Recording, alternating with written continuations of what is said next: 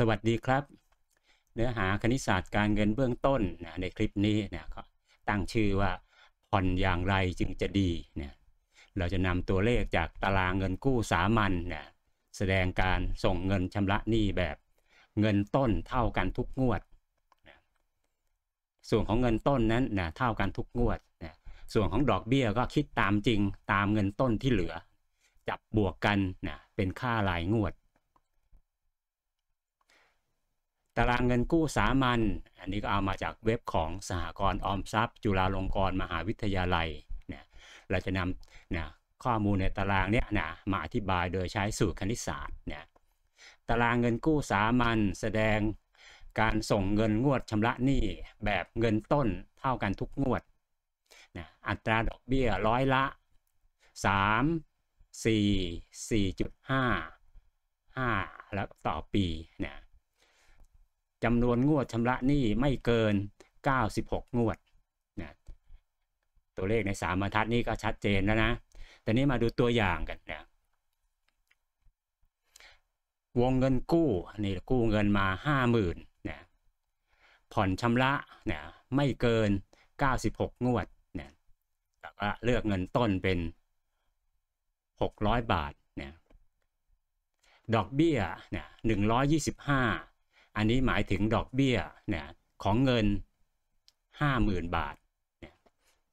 เงินรวมก็หมายถึงว่าส่วนของเงินต้น 600 บวก ดอกเบี้ย 125 บาทเป็น 725 บาท นี่คือเงินที่ต้องชำระในงวดที่ 1 ในงวดถัดไปเนี่ยเงินต้นจะลดลงนะแต่การผ่อนชำระ ส่วนของเงินต้นก็ยังเป็น 600 บาท ส่วนที่ลดลงก็คือดอกเบี้ยตัวนี้ ก็แปลว่าในงวดที่2เนี่ยเงินรวมจะลดลง เพราะในคลิปนี้นะจะอธิบายโดยใช้สูตรคณิตศาสตร์ว่าเนะดอกเบี้ยที่ลดลงแต่ละงวดคิดยังไงนะเงินต้นนะคิดยังไงนะเราก็มาดูหมายเหตุของตารางนิดนิดหนึ่งนะตารางนี้เนี่ยนะก็มีข้อจำกัดนิดนึงก็คือ 50,000 เงินต้นนะ ไป1 0 0 0 0แสนนะเจ็ดหมื่นห้าพันไม่มีนะก็แปลว่า เดี๋ยวพอฟังคำอธิบายในคลิปนี้แล้วนะเราก็ไปสร้างตาราง Excel นะดูว่าถ้าเรากู้เงิน 75,000 บาทนะผ่อนชำระไม่เกิน 96 งวดนะส่วนของเงินต้นควรจะเป็นเท่าไหร่นะแล้วก็ไปทำตารางแสดงนะเงินต้นดอกเบี้ยเงินรวมกัน อันนี้คือ ตารางจริง ๆ นะ มาจากเว็บของสหกรณ์ออมทรัพย์จุฬานะ ดอกเบี้ย 3%ต่อปี 4%ต่อปี 4.75%ต่อปี 5%ต่อปีนะแต่ถ้านะดอกเบี้ยเปลี่ยนไปนะ ในบางปีดอกเบี้ยเปลี่ยนไปนะ 3.25นะหรือเราจะคิดเลขเองก็ได้นะ โดยใช้โปรแกรม Excel ดูหมายเหตุของตารางนิดนึงนะการส่งเงินต้น ต้องปัดเศษเป็นหลักร้อยบาท ตัวอย่างเช่นนะห้าหมื่นหารด้วย 96 เลขไม่ลงตัวนะก็ตั้งปัดเศษเป็นนะสองตัวสุดท้ายไปเลขศูนย์ศูนย์แหละนะ เดี๋ยวเราจะดูที่มากันแต่เขาก็บอกว่านะยกเว้นงวดสุดท้ายนะก็ในงวดสุดท้ายเงินต้นอาจจะไม่เหลือนะไม่ถึง 600 ก็ได้นะก็ จ่ายตามจริง ดอกเบี้ยตามจริงสำหรับงวดสุดท้าย เดี๋ยวเราจะอธิบายนะว่าวงเงินกู้เนี่ยเงินต้นคิดยังไงเนี่ยดอกเบี้ยแต่ละงวดเนี่ยเงินรวม พอฟังคำอธิบายเข้าใจแล้ว เดี๋ยวจะเปลี่ยนเป็นโปรแกรม Excel อันนี้ก็ขยายความให้เห็นชัดเจนอีกครั้งหนึ่งนะ ตัวเลขโตขึ้นนิดหนึ่ง อัตราดอกเบี้ย 3%ต่อปีเนี่ยชำระไม่เกิน 96 งวด เดี๋ยวเราก็จะดูกันว่านะถ้าวงเงินกู้ 50,000นะตัวเลข 600 มาจากไหนเนี่ยดอกเบี้ยเนี่ย125 บาทเห็นชัดเจนเลย ดอกเบี้ยของเงิน 50,000 ในเวลา 1 เดือนนะอัตราดอกเบี้ยเนี่ย3%ต่อปี 725 เห็นชัดเจนมาจาก 600 บวก 125นี่ยแต่ตรงหมายเหตุตัวนี้แหละเนี่ยจะเป็นตัวชี้ว่าทำไมต้องเป็นเลข 600เนี่ยแล้วเดี๋ยวคิดเลขไปสักพักหนึ่งก็จะเห็นว่างวดสุดท้ายเงินต้น เหลือไม่ถึง 600 จะทำยังไงต่อไป ในกรอบสีเขียวนี่ยอัตราดอกเบี้ยนี่ยสามเปอร์เซ็นต่ ต่อปี หารด้วยสิบสองก็หมายถึงเนี่ยอัตราดอกเบี้ยเนี่ยสามเปอร์เซ็นส่วนสิบสองต่องวดหรือต่อเดือนเนี่ยอันนี้คือเงินกู้ครั้งแรกห้าหมื่นบาทห้าหมื่นหารด้วยเก้าสิบหกเนี่ยได้เป็นห้าร้อยยี่สิบจุดแปดสามตรงหมายเหตุตัวนี้บอกการส่งเงินต้นต้องปัดเศษเป็นหลักร้อยบาท ปัดขึ้นมาเป็นหกร้อยเห็นไหมสองตัวสุดท้ายเป็นศูนย์ศูนย์แล้วก็แปลว่าคำว่าไม่เกินตัวนี้นะ ถ้าถามว่าจริง ๆ ต้องนะผ่อนชำระกี่เดือน เราก็มาดูกันว่าหกร้อยนะไปหารห้าหมื่นเลขไม่ลงตัวก็จะเห็นว่านี่ยจำนวนเดือนนั้นอะเนี่ย ไม่เกิน 96 งวดเนี่ยดอกเบี้ยเนี่ย L คูณ R R นี่คือต่องวดเนี่ยก็แปลว่า 50,000คูณ R เป็น 125พัน125 ตัวนี้คือ ดอกเบี้ยของเงิน 50,000 ในเวลา 1 เดือน ค่ารายงวดนะหรือเงินชำระหนี้ก็เงินต้น 600 บวกดอกเบี้ย 125 ก็เป็น 725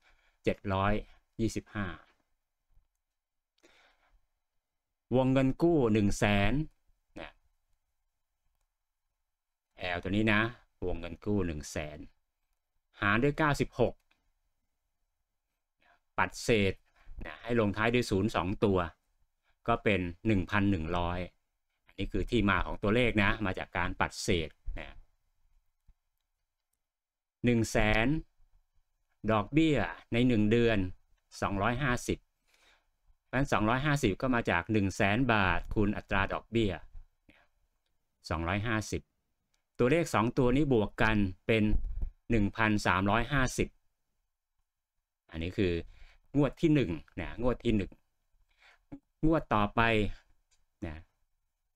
เงินต้นจะลดลงแล้วนะดอกเบี้ยส่วนนี้ก็จะลดลงด้วย เงินรวมก็ลดลง เดี๋ยวเราไปดูถัดไปว่างวดที่สองเนี่ยชำระเงินเท่าไหร่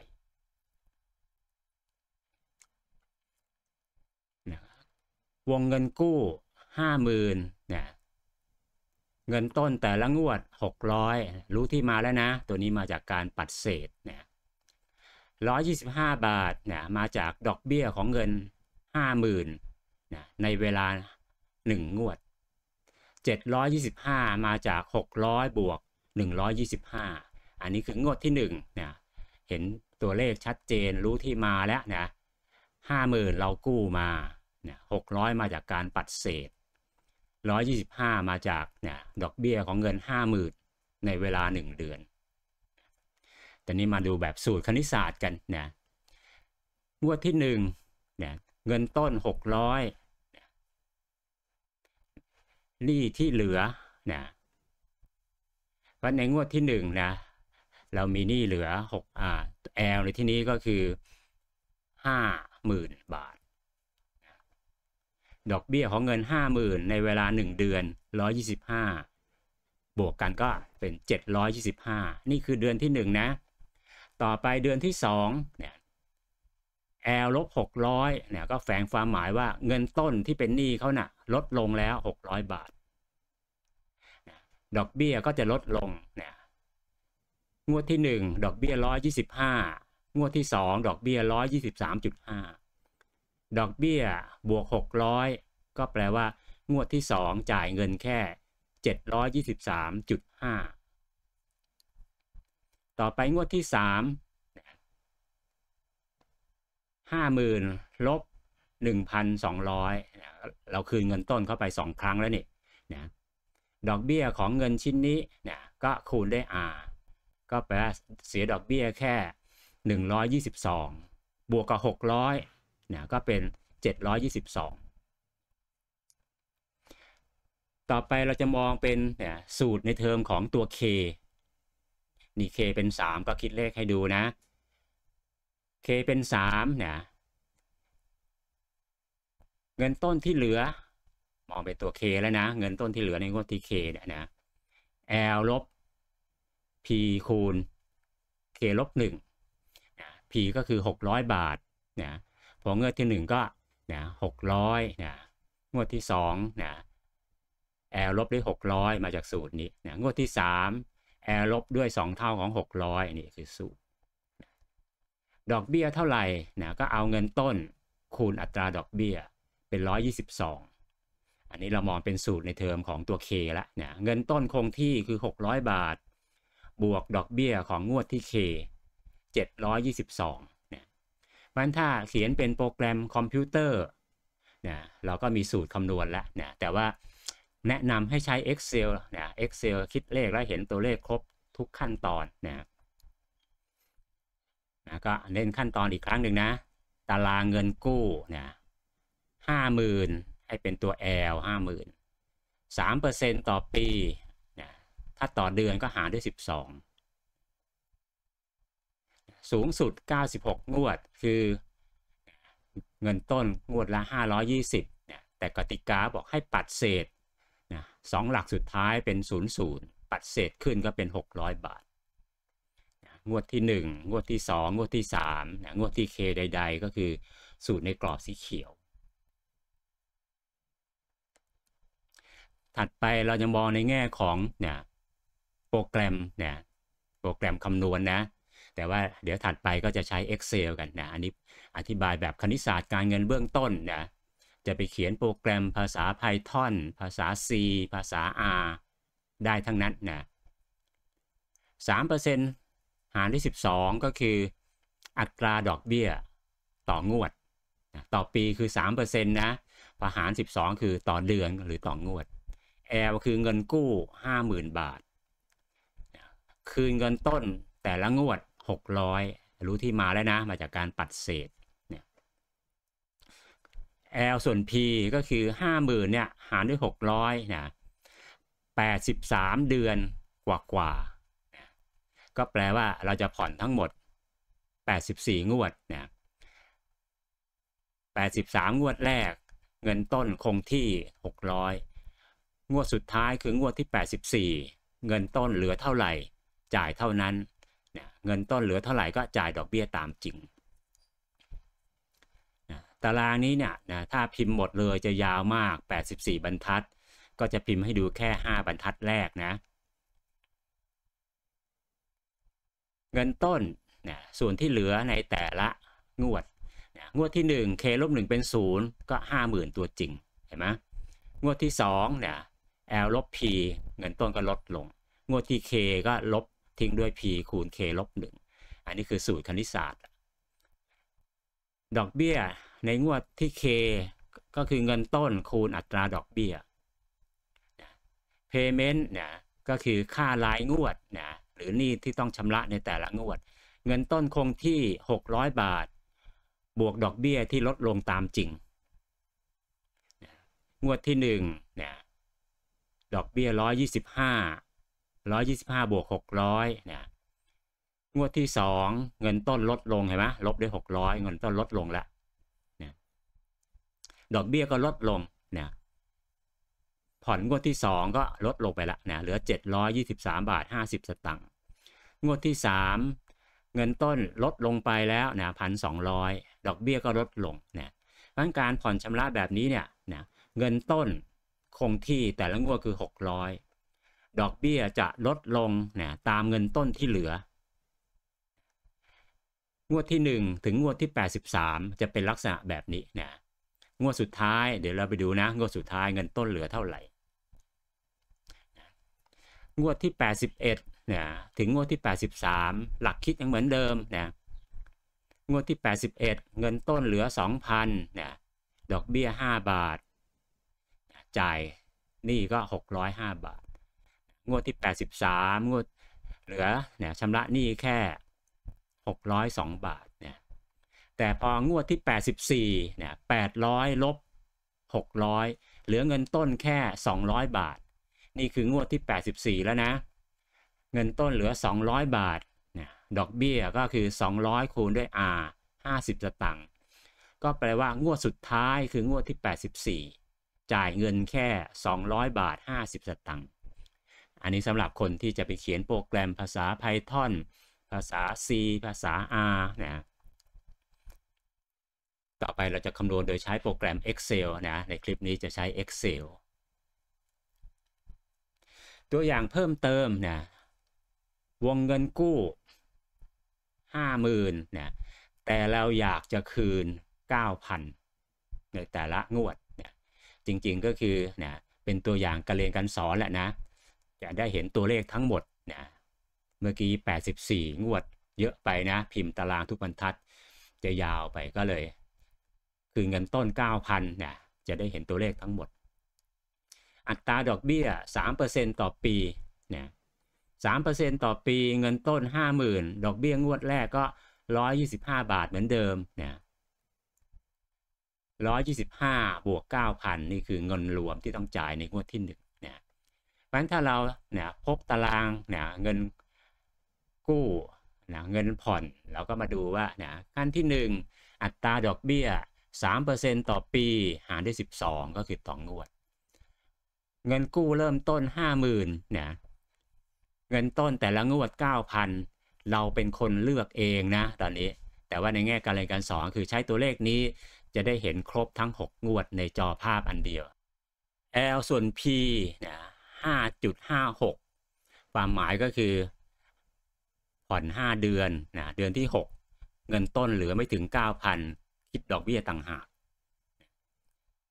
5 เดือนแรก K 1ถึง5เงินต้นที่จะคิดดอกเบี้ยแต่ละงวดก็คือ L ลบ P คูณ K ลบ1 ดอกเบี้ยแต่ละงวดก็คือนะ RPLK คูณ R นะเงินต้นที่เหลือในแต่ละงวดนะคูณดอกเบี้ยใน1งวด Payment ก็คือเงินที่ต้องจ่ายในแต่ละงวดนะเงินต้นคงที่ 9,000 บวกดอกเบี้ยนะงวดที่ 1 เงินต้น 50,000 50,000 คูณ R นะ3%ส่วน12 นั่นแหละนะดอกเบี้ยคือ 125 บาท งวดที่ 1 จ่ายเงิน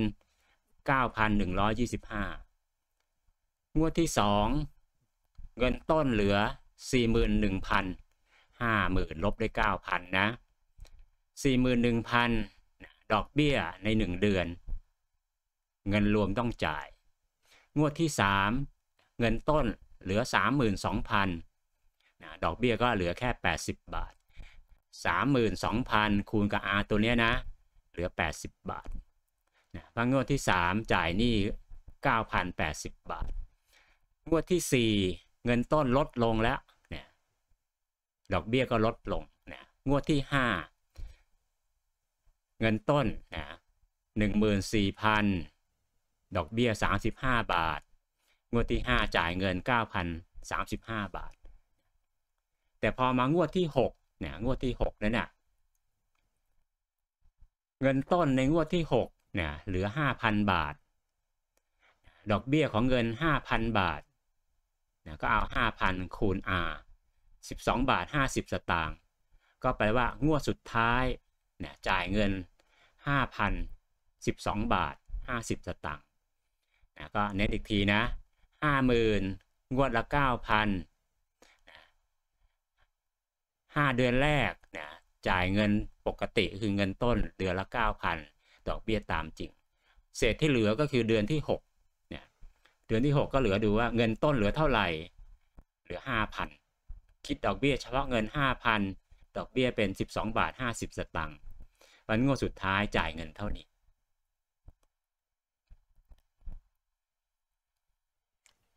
ตัวอย่างเพิ่มเติมเนี่ยวงเงินกู้ 1 0 0 0 0แสนบาท เราตัดสินใจว่าคืนเงินต้นแต่ละงวดงวดละ 10,000 อันนี้ในแง่ของการเรียนการสอนก็ตั้งใจให้เลขลงตัวพอดีนะถ้าเลขลงตัวพอดีก็นะสิบเดือนนะไม่ต้องดูเศษเหลือนะมันก็ไปตัดสินใจกันนะว่า ถ้าจะคืนเงินต้นนะจะคืนแบบเลขลงตัวนะหรือจะคืนแบบมีเศษเหลือได้ทั้งนั้นนะสูตรคณิตศาสตร์สามารถอธิบายได้ เนี่ยหนึ่งหมื่นดอกเบี้ยในหนึ่งเดือนสองร้อยห้าสิบวันเดือนแรก จ่ายงวดค่างวดหนึ่งหมื่นสองร้อยห้าสิบเนี่ยอะมาดูในแง่ของขั้นตอนการคำนวณนะ นี่คือตารางนะแสดงตัวเลขของวงเงินกู้เงินต้น ดอกเบี้ยเงินรวม อัตราดอกเบี้ย 3%ต่อปีนะพอรู้ตารางนี้แล้วก็มาอัตราดอกเบี้ย 3%หารด้วย 12 เพราะว่าเราจะคิดต่อเดือน เงินกู้เริ่มต้น1 0 0 0 0แสนบาท เงินต้นคืนแต่ละงวด 10,000 นี่เราเลือกเองนะ ไม่ใช้วิธีไปหารด้วย 96 และปัดเศษนะ นี่เราเลือกเองนะ ในแง่ของการเรียนการสอนคือ จะได้เห็นตารางเงินผ่อนทั้งหมดนะ แต่ถ้านะ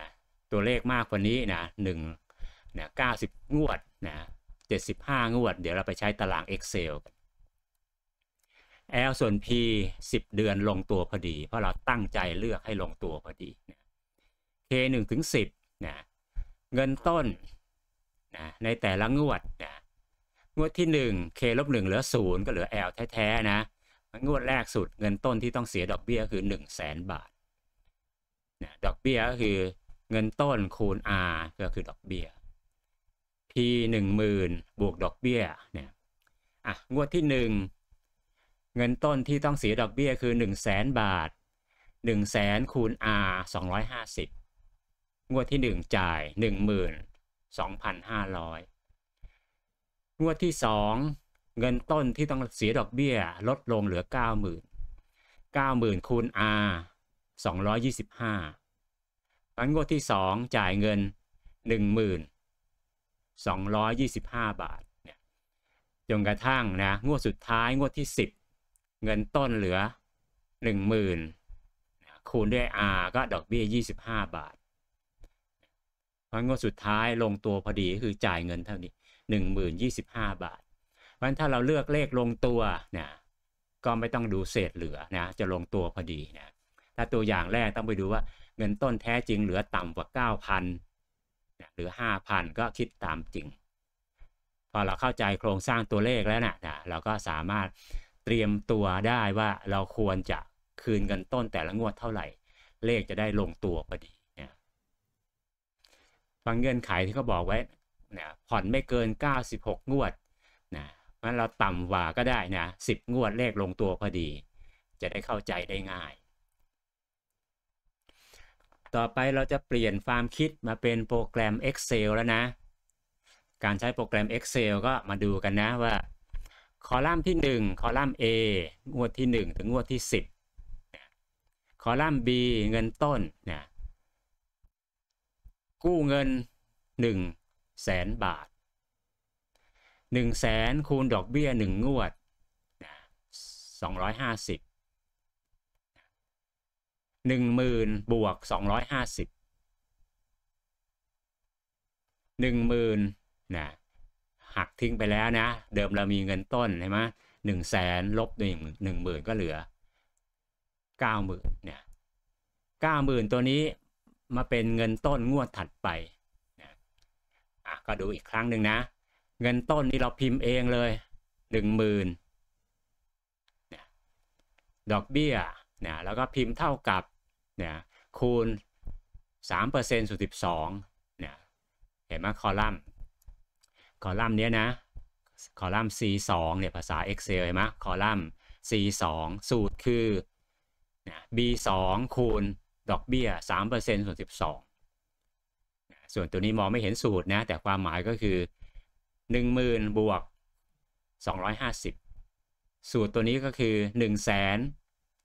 ลบด้วย 10,000นี่ยจากเงินต้นที่เหลือ 90,000เราก็ปีมาวางที่นี่ ตัวนี้ก็ Copy สูตรนะตัวนี้ก็ Copy สูตรลงมานะต่อไปก็เป็นการ Copy สูตรนะมันก็จะมีบรรทัดแรกนะ1 0 0 0 0แสนเราพิมพ์เข้าไป B2 คูณ3%ส่วน 12 เราพิมพ์เข้าไป ตัวนี้เราก็พิมพ์เข้าไป 10,000 บวก C2 เนี่ยตัวนี้เราพิมพ์เข้าไปเองเลยนะ B2 ลบทิ้งด้วย 1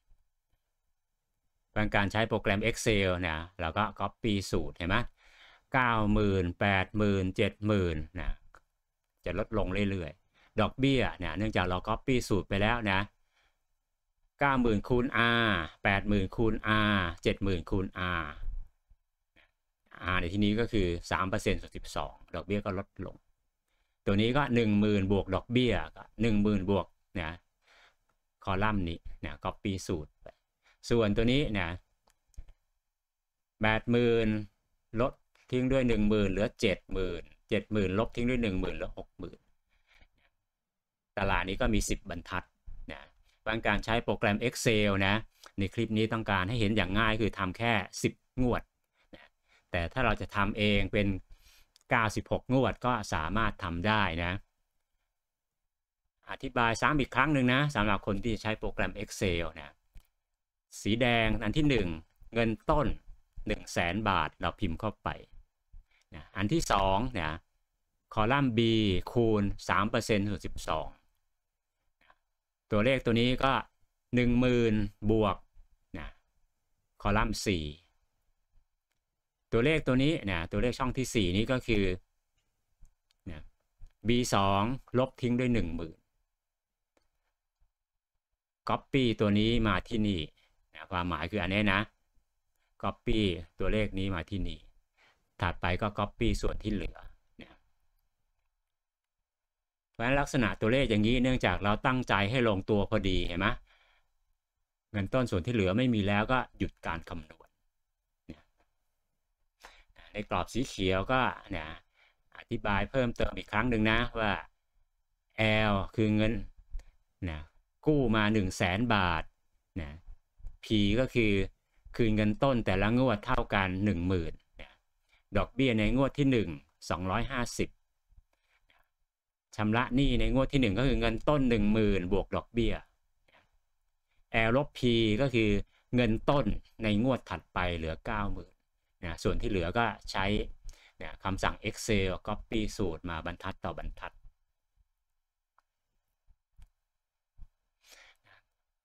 ต่อไปกรณีที่นะจำนวนงวดเป็นเลขไม่ลงตัวนะ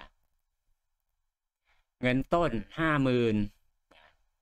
ดอกเบี้ยของเงินห้าหมื่นในเวลาหนึ่งเดือนก็ร้อยยี่สิบห้าเก้าพันบวกหนึ่งร้อยยี่สิบห้านี่คือค่างวดที่ต้องจ่ายในงวดที่หนึ่งเงินต้นส่วนที่เหลือห้าหมื่นลบเก้าพันก๊อปปี้ตัวนี้มาที่นี่แล้วนะสี่หมื่นหนึ่งพันสี่หมื่นหนึ่งพันคูณ r ก็คือ Copy สูตรบรรทัดนี้ลงมาที่นี่ 9,000 บวกนะ102.5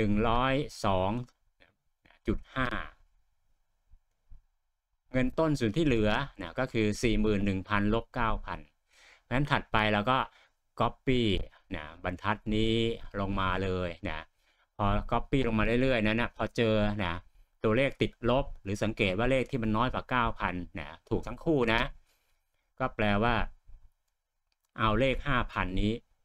ไปคิดเลขแยกต่างหากนะแล้วก็มาพิมพ์ใหม่เองนะ ตรงนี้ก็คือ พิมพ์ใหม่เองด้วยตัวเลข 5,000นะ5,000 มาจากตัวนี้ 5,000 คูณ R ดอกเบี้ยเป็น 12 บาท 50 สตางค์จับบวกกันก็คืองวดสุดท้าย ชำระหนี้เท่านี้นะอันนี้ก็คือเงินต้นเท่ากันในแต่ละเดือนคือ 9,000 บาท ดอกเบี้ยลดลงตามจริง งวดสุดท้ายเงินต้นนะต่ำกว่า 9,000 แล้วมาคิดแยกนะพราะการใช้ตาราง Excel นะถ้าอย่างง่ายเราก็ตั้งใจให้ลงตัวพอดีคือเงินต้นนะไปหารแล้วนะจำนวนงวดหรือจำนวนเดือนเป็นเลขจำนวนเต็มนะ มันจะได้เงินต้นออกมาเป็นศูนย์และหยุดการชำระหนี้ได้แบบเข้าใจง่ายนะแต่ถ้านะมีเศษเหลืออย่างนี้ก็ไม่เป็นไรนะแนะนำทั้ง 2 แบบ การผ่อนหนี้นะเงินกู้นั้นมี 2 แบบ ในคลิปนี้นะเงินต้นคงที่ดอกเบี้ยลดลงตามจริงนะในคลิปต่อไปนะเป็นการผ่อนแบบจ่ายค่างวดเท่ากันทุกเดือน คำว่าเท่ากันทุกเดือนในนั้นก็มีทั้งส่วนเงินต้นและส่วนดอกเบี้ย แต่รวมกันแล้วเนี่ยจ่ายค่างวดหรือชำระหนี้เท่ากันทุกเดือนเนี่ยก็ติดตามได้ในคลิปต่อไปนะ การชำระหนี้ในแบบที่2นะเนื้อหาในคลิปนี้ก็เอาแต่เพียงเท่านี้ สวัสดีครับ